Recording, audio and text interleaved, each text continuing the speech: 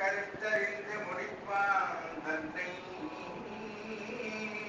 தூயானை தூவெள்ளையேற்றான் தன்னை சுடரே திங்கள் சடையானை தொடர்ந்து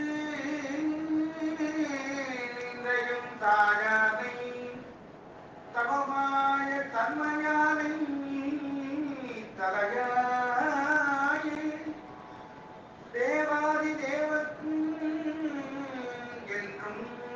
யானை தென்கூடம் திருவாலகவாய்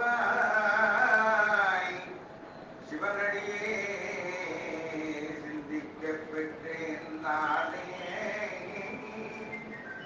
பணத்தானை பணத்துள் கருத்தானை.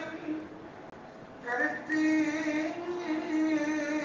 அறிந்து முடிப்பான் தன்னை அளவா